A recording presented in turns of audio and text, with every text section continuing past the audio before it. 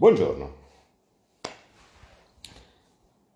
Vediamo di fare un breve video per parlare di flat tax perché tutto quello che sto sentendo va oltre i canoni normali della sopportazione. Parlo di flat tax dal 2006, non l'ho inventata io, l'hanno inventata due americani che si chiamano Hall e Rabuska. Mm, me ne sono accorto prima degli altri forse, o prima di altri, perché quando è uscito il loro libro per illustrare la loro proposta, io che lavoravo per una banca internazionale l'ho trovato in aeroporto, mm, all'epoca usava comprare libri, adesso Kindle, uh, telefoni, social cose di questo tipo, all'epoca c'era questo difetto che si leggeva eh, e l'avevo, l'avevo comprato e praticamente subito all'inizio del libro di Oller Abushka che si intitola proprio The Flat Tax dice questo sistema di tassazione totalmente nuovo e rivoluzionario può funzionare con eh, situazioni in cui ci sono queste due caratteristiche. Uno, il sistema è molto complesso con molte deduzioni, detrazioni, possibilità di elusione ed evasione e io eh, mi ricordo il nostro e due, se c'è un'alta evasione, elusione o similari, proprio anche dovuta alla complessità del sistema. E io ho detto, siamo noi. E quindi mi sono molto interessato e me lo sono letto d'un fiato. Effettivamente ho pensato che fosse molto facilmente applicabile al nostro sistema, proprio perché è un sistema molto complesso e dove c'è molta evasione. Nel frattempo, queste due caratteristiche non sono andate a migliorare, cioè il sistema è diventato ancora più complesso rispetto a a eh, quasi ormai vent'anni fa praticamente eh, e mh, l'evasione o l'elusione non mi pare che siano migliorate in modo verticale. Cos'è il principio? Il principio è che se io invece di avere un sistema molto complicato faccio un sistema molto semplice, alla fine il gettito è uguale o superiore. Ma, la, ma i cittadini sono più contenti e soprattutto è più giusto perché invece di far sì che chi può eludere o evadere perché ha eh, mille mega commercialisti che gli fanno fare la holding in Lussemburgo o similari, invece eh, c'è la possibilità per tutti di pagare una quota giusta senza bisogno di inventarsi cose strane per evadere o eludere. Prima obiezione, non si può fare perché è incostituzionale, perché la nostra Costituzione dice che il sistema eh, fiscale è informato a criteri di progressività. Bene, questa la spaziamo via subito. La flat tax è perfettamente costituzionale. Perché? Perché tutti si concentrano sull'aliquota, vale a dire 15%, 20%, 25%, 23%, così così, poi ognuno spara la sua. Ma in realtà la flat tax è composta da due pilastri, dall'aliquota, ok, e dall'altra parte c'è una deduzione.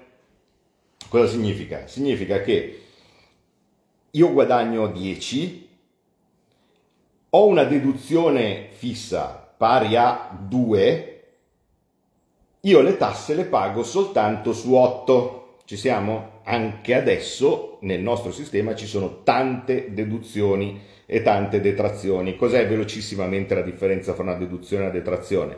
La deduzione toglie all'imponibile, quindi io ho detto guadagno 10, tolgo 2 e pago le tasse su 8.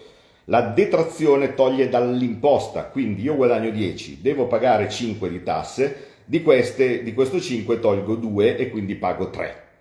Questo giusto per capire la differenza fra deduzione e detrazione, eh, perché tanti fanno confusione, qualche volta magari parlando velocemente anch'io eh, tendo a farla. Qui stiamo parlando di una deduzione, quindi significa che si prendono i miei redditi, tolgo una quota fissa, no? su quello che rimane pago l'aliquota. Capite che se io rimango sotto quella quota, quota fissa, pago zero. No, supponiamo che eh, io eh, faccio una flat tax al 20% e guadagno 10. Se io pago il 20% su tutto 10, pago 2, ok? Se io ho una deduzione di 2, significa che io il 20% lo pago su quello che rimane, vale a dire su 8. quindi pago 1,6. Ma con questo sistema significa che se uno ha 2 di reddito, quindi se ha un reddito basso, la deduzione lo copre tutto, perché io ho 2 di reddito, 2 me lo tolgo per la deduzione, su quello che avanza pago la tassa, non è nulla, perché non ho più niente tolta la deduzione su cui applicare la tassa e quindi la mia aliquota è zero. Il risultato di questo è che per i redditi bassi l'aliquota è zero, si crea la famosa no tax area. Man mano che il reddito sale, aumenta anche l'aliquota reale che uno paga, perché quella effettiva è, non, è, non è quello che viene deciso come aliquota fissa, quella effettiva è tolgo la deduzione, vedo quello che rimane, applico la tassa, ma al lato pratico se io pago, come nell'esempio che vi ho fatto prima, eh, il 20% su 8 invece che su 10 di quello che, di quello che guadagno e quindi pago 1,6, la mia aliquota effettiva che ho pagato sui redditi non è più il 20%, ma è il 16%. Man mano che aumentano i redditi, aumenta anche l'aliquota effettiva, quindi aumenta la progressività del, del, della, della mia tassazione dell'aliquota effettiva e quindi il sistema, anche con una sola aliquota, è progressivo. Ci siamo? Quindi chi guadagna di meno paga di meno, non solo in senso assoluto, ma anche in senso proporzionale, anche in senso come, come aliquota, chi guadagna di più paga di più. L'unica cosa è che c'è un tetto. Anche guadagnando una cifra notevolissima, uno non può pagare più del 20% o del 15% che è l'aliquota fissata. Altra cosa, e ma il vostro sistema, quello che avete depositato, dice un'altra cosa? Sì.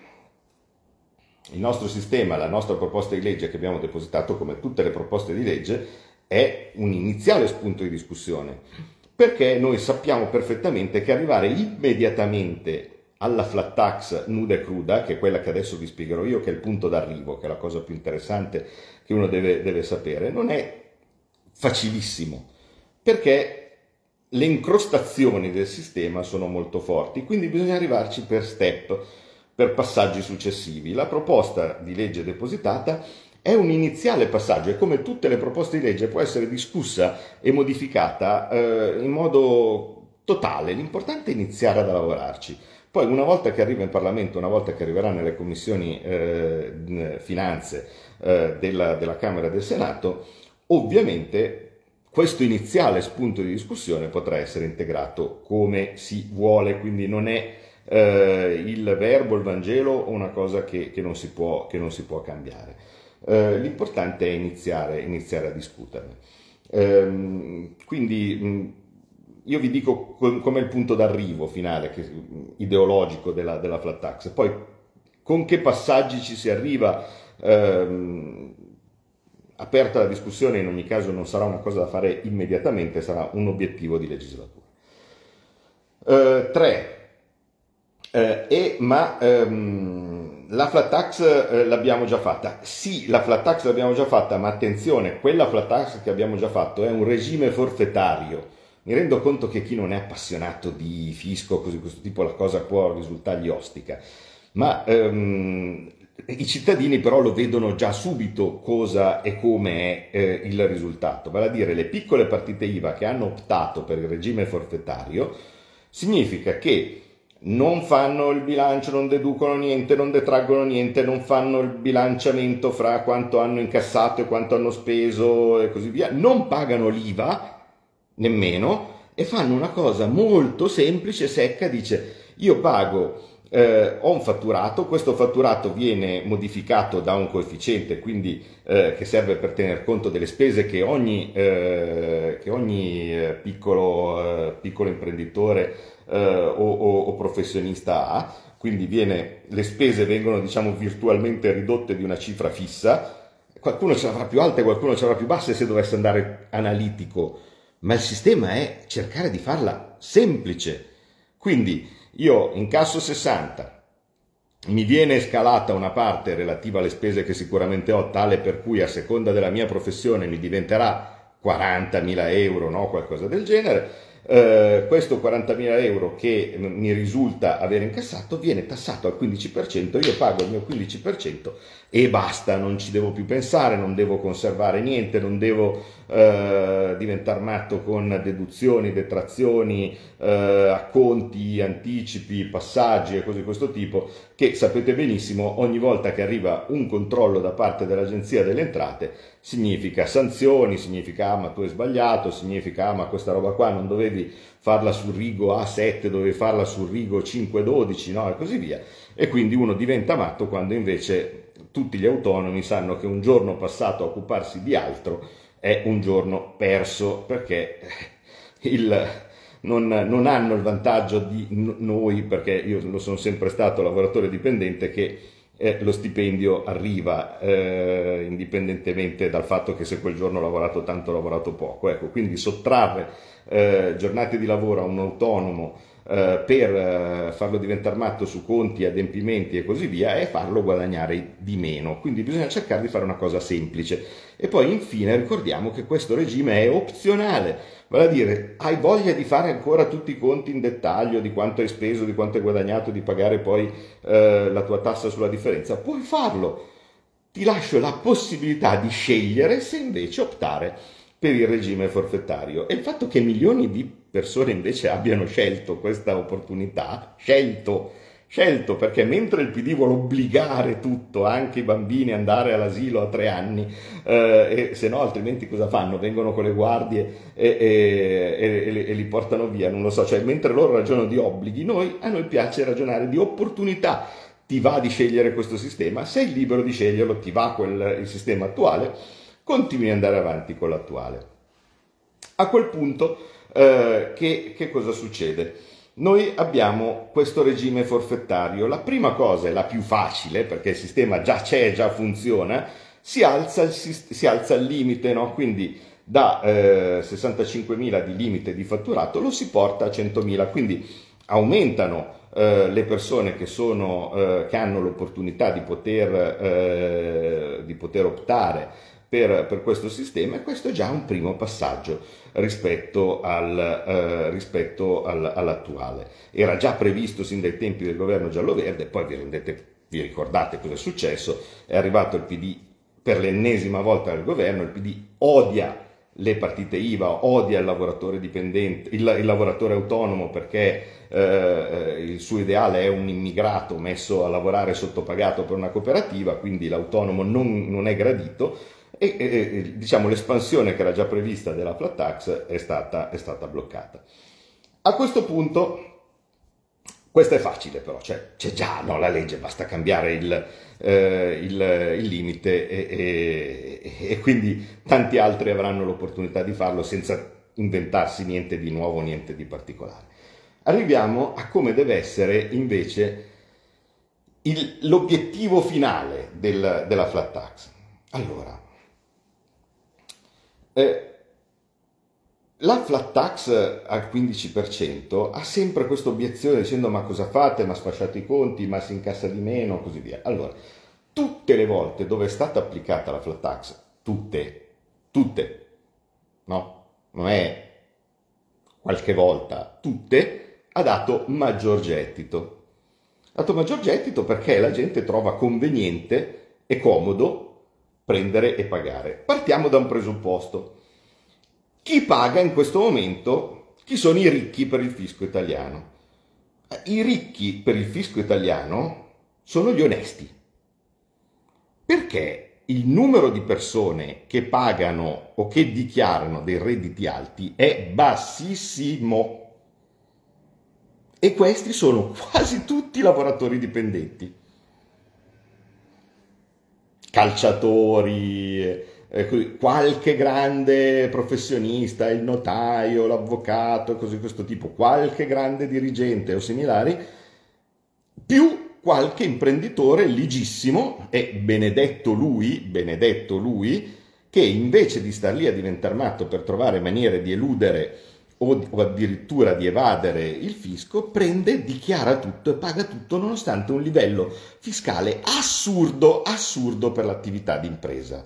Eh, perché ragazzi, il punto il punto è, è, è quello lì, è una cosa è, non avere o, o avere dei rischi relativi ma prendere, dare una tassazione clamorosa per chi ha un rischio di impresa già di suo molto forte, vale a dire prendere e rimetterci, è certo che poi la gente no, non la fa più impresa in Italia, perché se va bene il mio profitto me lo, se, lo, se lo pappa il fisco, eh, eh, se, se invece va male fallisco io, non va bene, no? Quindi devi cercare di incentivare questi eroi della dichiarazione. Per cui teniamo presente in questo momento questo inizio, quando dice voglio la flat tax aiuta i ricchi, no, il ricco non corrisponde all'alto dichiarante, diciamo così. Dal mio punto di vista l'alto dichiarante è un onesto, ok? Chi dichiara cifre alte in questo momento in Italia è onesto, non è ricco. Se noi andiamo a vedere i casi infiniti di gente che se la girava con eh, macchine clamorose, con yacht o similari, dietro troviamo delle storie che spesso e volentieri portano o a complicati, eh, complicate strutture eh, di holding estere lussemburghesi no? e così via, oppure troviamo evasione totale.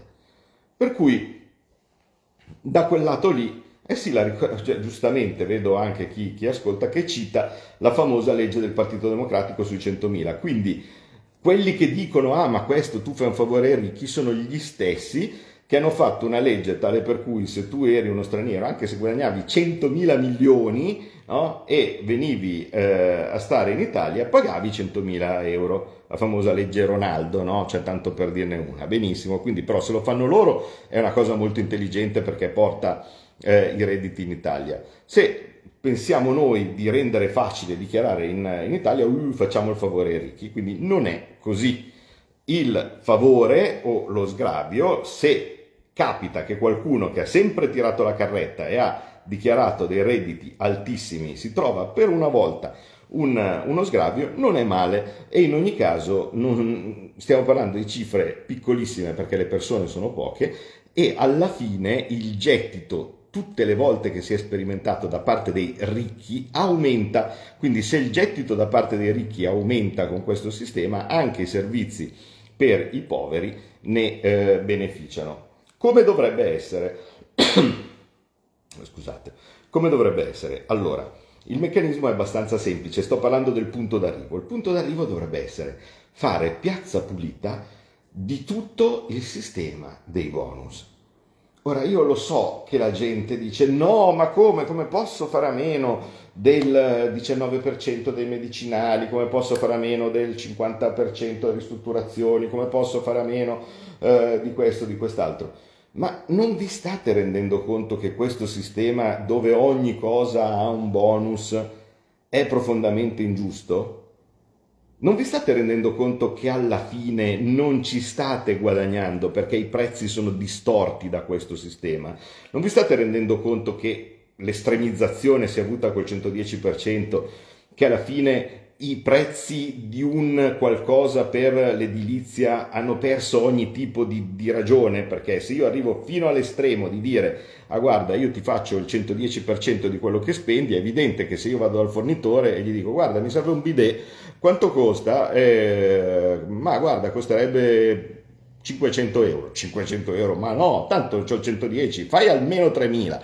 No? Eh, e, e il risultato è che se uno davvero ha bisogno di un bidet e non ha eh, tempo né voglia o di, di fare una, una, una, ristrutturazione che rientra nei canoni del 50, del 60 e così questo tipo, non lo trova neanche a piangere.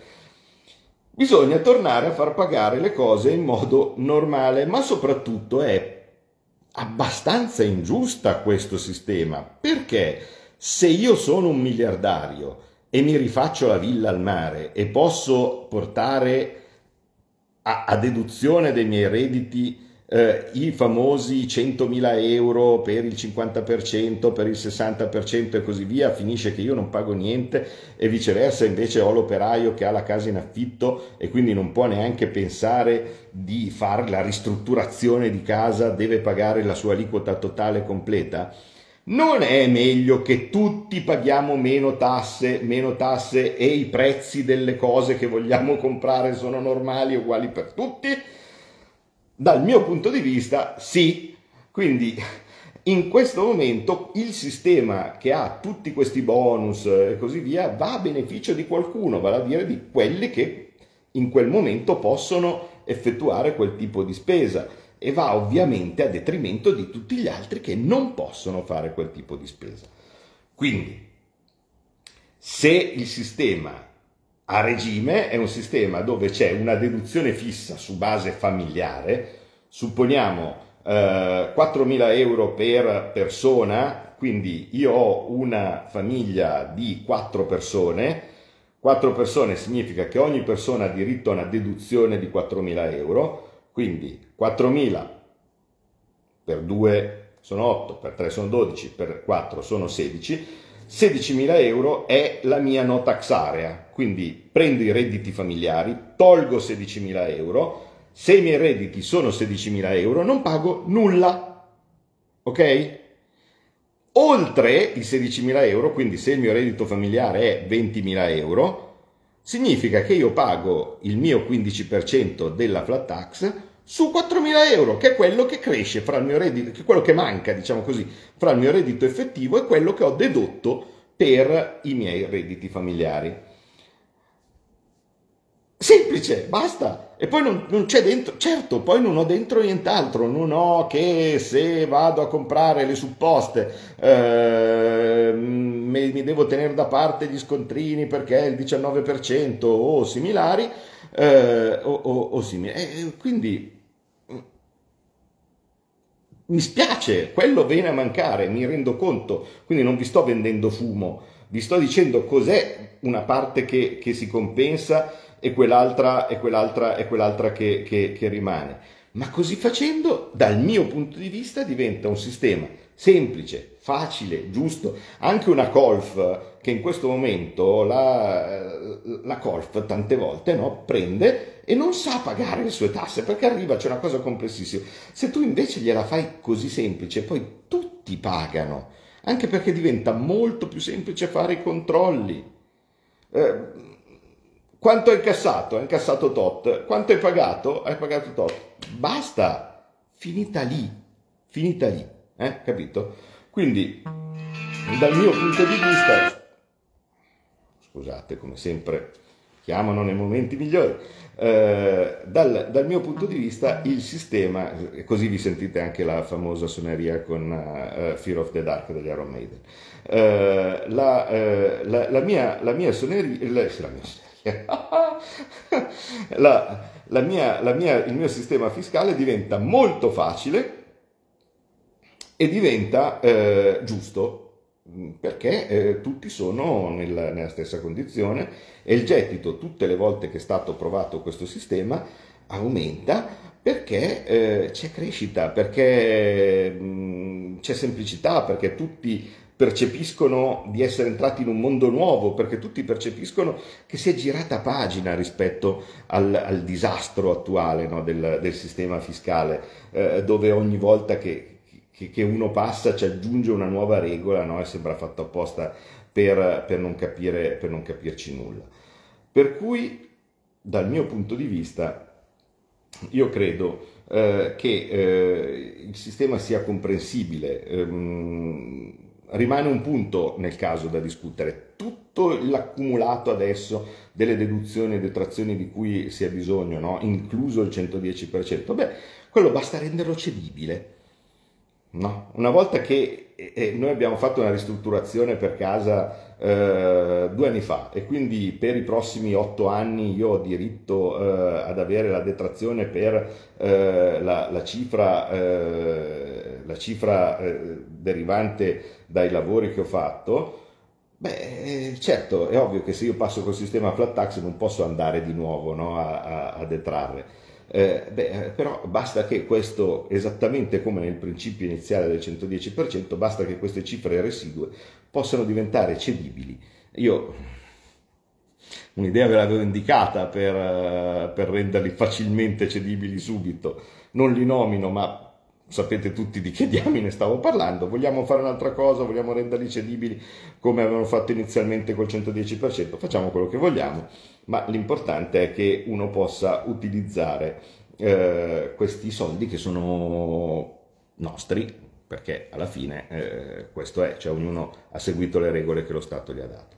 Per cui io spero sinceramente di essere stato, di essere stato chiaro. Uh, il, dal, mio, dal, mio, punto di vista uh, il, il, sistema è fattibile, il sistema è perfettamente adatto al, all'Italia, il sistema è semplice, non focalizziamoci sull'aliquota, preferite fare il 20% perché vi suona meglio invece del 15%, basta aggiustare la deduzione cioè, se io alzo il livello della deduzione, quindi invece di 3.000 o 4.000 lo faccio diventare 5.000 o così di questo tipo, e alzo l'aliquota, diventa solo più progressivo, ma il gettito a parità di gettito mm, non, non cambia. Quindi tutto è discutibile, tutto si può fare, si può cambiare, si può modificare. Io vi sto dicendo un'idea, cos'è il punto di vista, il punto d'arrivo secondo me che renderebbe tutti più felici eh, qui, qui in Italia e renderebbe tutto il sistema più lineare eh, e, e, e, più, e, più, normale, senza avere buchi di gettito similari. Voi lo sapete